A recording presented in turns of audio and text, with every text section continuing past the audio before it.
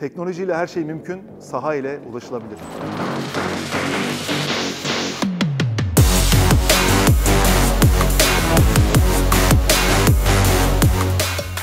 Saha Robotik, otonom servis ve teslimat robotları üreten bir şirket. Yüzyıllardır hep insan iş gücüyle yapılan bu e, teslimat sektörünü nasıl otomasyonlaştırırızdan yola çıkıp beyin fırtınasına başladık. Sonrasında dedik ki bunun en feasible şekli herhalde bir mobil robotla yapmak olacak. Bir mobil robot arayışına çıktık.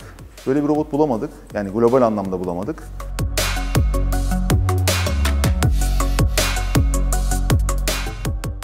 ...2020 Nisan ayında sürece başladık. Biz kendimiz mobil robot yapmaya başladık.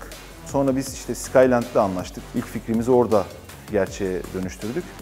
3 robotla birlikte orada 2021 Mayıs'a kadar bir ARGE yaptık. 2021 Mayıs'ta 3 robotla bahsettiğimiz sistemi devreye aldık Speedy Market'i. Speedy Market online bir perakendicilik sistemi aslında. Yani bir aplikasyonumuz var bizim. O aplikasyona giriyorsunuz, siparişinizi veriyorsunuz. Sonra 5 dakika içerisinde verdiğiniz sipariş teslimat ücreti olmadan ve minimum sepet tutarı olmadan kapınıza geliyor robotlarla. Böyle bir sistemi biz dünyada ilk defa böyle bir şey yapmış olduk orada. Geliştirdiğimiz mobil robot da alanında böyle ilk olması ve çok güzel dönüşler almamız pazardan bize ayrı bir fırsat sundu. E, Yani indoor teslimat ve servis robotu geliştirmeye başladık. Şu anda yanımda bulunan Speedy Servis modeliyle birlikte Horeca sektöründe hizmet vermekteyiz. Bunların en başında restoranlarda masa servisi hizmetini bir öteye taşıyarak daha büyük bir deneyim yaşatıyoruz.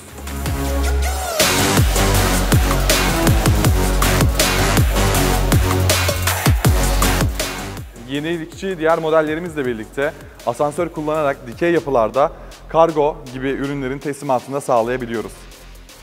Aslında geliştirdiğimiz şey çok kompleks bir yapı.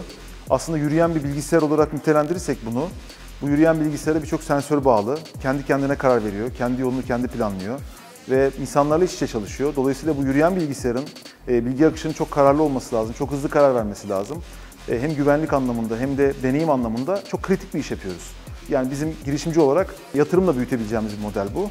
Biz tabii ki yatırımlar aldık. Bu yatırımla beraber de ürünü seri üretime hazırlıyoruz şu anda. Yani biz bu yaptığımız prototipi takım olarak bundan nasıl biz işte 100 bin tane üretebiliriz? Şu an bunun geliştirmelerini yapıyoruz. Uluslararası pazarda aslında çok umutluyuz. Çünkü şu an bulunduğumuz sektörde e, uzak doğuda birkaç tane oyuncu var. O yüzden biz hızlıca burada dünyadaki ilk üç oyuncudan biri olmayı hedefliyoruz. Dolayısıyla tüm dikkatimiz ve fokusumuz ihracat üzerine. Tüm geliştirmelerimizi de yerli imkanlarla yapmaya çalışıyoruz. Çünkü biz bu milli teknolojiye çok inanıyoruz. Bir ekosistem ne kadar gelişirse o kadar esnek ürün geliştirme imkanı sunar. Bizden sonraki gelen girişimciler için söylüyorum bunu. O yüzden e, hem yurt dışı pazarı için çok heyecanlıyız hem de olabildiğince yurt içinden e, üretim yapmaya çalışıyoruz. Bilişim Vadisi'yle yollarımız çok güzel kesişti. Bir mobilite hızlandırma programı duyurusu gördük. 2021 yılında biz ona başvurduk hemen hızlıca. Sonra kabul aldık programdan. Güzel bir program geçirdik. Güzel mentörlükler aldık. Bilişim Vadisi içerisinde olan şirketlerden. Yani bir hızlandırma programıyla aslında gelmiş olduk Bilişim Vadisi'ne. E, ayrıca burası buluşma yeri. Sektörler burada buluşuyor. İşte buraya önemli isimler geliyor. Dolayısıyla bizim buraya misafir olan, buraya ziyarete gelen birçok insanla da doğal olarak spontan bir şekilde burada çalışıp iş geliştirme süreçlerimiz de sonrasında e, oluyor. Yine bir diğer fayda da yine burada mesela sektörel buluşmaların yanında Teknopark içerisindeki firmaların da birbiriyle buluşmaları için etkinlikler düzenleniyor. Dolayısıyla biz o etkinliklerden buluştuğumuz firmalarla da bazı iş geliştirmeler yaptık.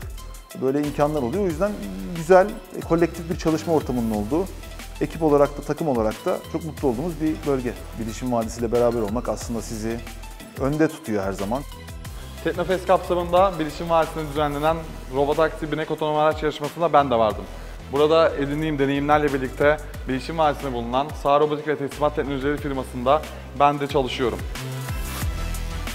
Evet biz yani girişim olarak varsak bugün hala hayattaysak ekibimiz takım olarak ayaktayız. İlk çıkaran genelde hep önde oluyor. Doğru metotlarla yapılan, akıllı uygulayan önde gidiyor.